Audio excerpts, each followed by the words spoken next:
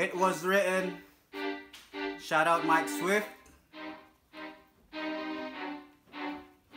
Ito na ngayon, sabi nga gising na Makasulat nga muli para sa kultura Kumusta na ba kayo? Ganun pa rin ba ang galaw? Sinong nahinog at sinong naiwang hilaw? Rapper sa Pinas, may rapper na ungas Patungo sa baba o patungo sa taas? Sa panahon ngayon mukhang marami ng lito. Sasabihin ko lang pa rin na kami ay totoo.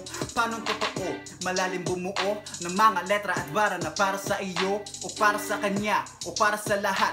Eh para lang masabi na ikaw ay sikat Ikaw ay sakit, walang kabuluhan. Mensahe ng obra ay parang pangtanga lang. Di bali na lang, imahe na yan. Hindi ipapalit ang aking kamalayan. Mabuti na lang at nagabayan Tama at mali, naranasan na yan. Hindi nang mamali, pero tama na yan. Sa'yo rin ang balik, sige bahala ka dyan. Parang nagsalamin lang ang kalalabasan. Tumutugma ba sa iyong ginagalawan? Huwag kang magmayabang huli ang iyong paninin lang. Hindi lahat ng tao ay naniniwala sa ibang Simula nung hinawakan mo ang mikropono.